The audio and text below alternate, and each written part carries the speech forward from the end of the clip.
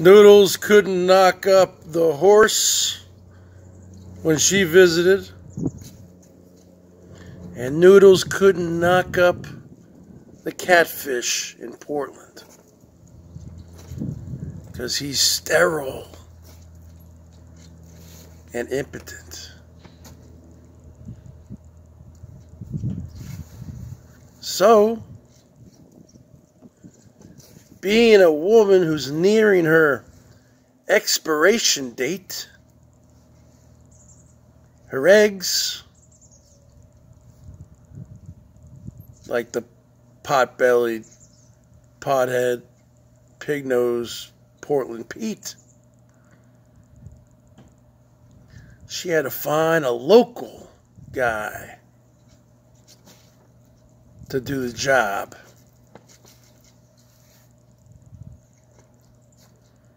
So Melton John stepped in, took one for the team. That's right. Remember, folks, over a year ago, Melton John went live. He said he wanted to become a full time stud. He wanted to impregnate as many women as he could, but not pay child support. I want to knock up I want to knock up a bunch of women, but I don't want to pay any child support. Well, I think we found the fish for you. She's a fish! She's a fish! Because Portland Pete,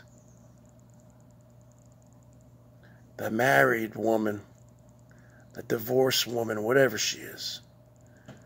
She's spoiled. Her parents pay her bills. So don't worry about it, Melton. You're not going to have to pay any child support.